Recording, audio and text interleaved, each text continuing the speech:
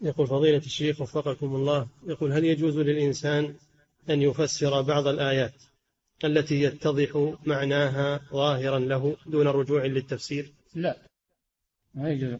يكون مخطئ قد يكون أخطأ في تفسيرها. فلا بد من الرجوع إلى كتب التفسير الموثوقة. كتب التفسير الموثوقة لأنك تتكلم عن مراد الله.